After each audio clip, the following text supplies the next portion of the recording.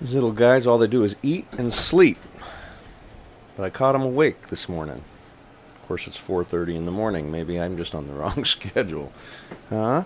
Huh? Those pretty babies you've got? Huh, Sasha? Pretty babies?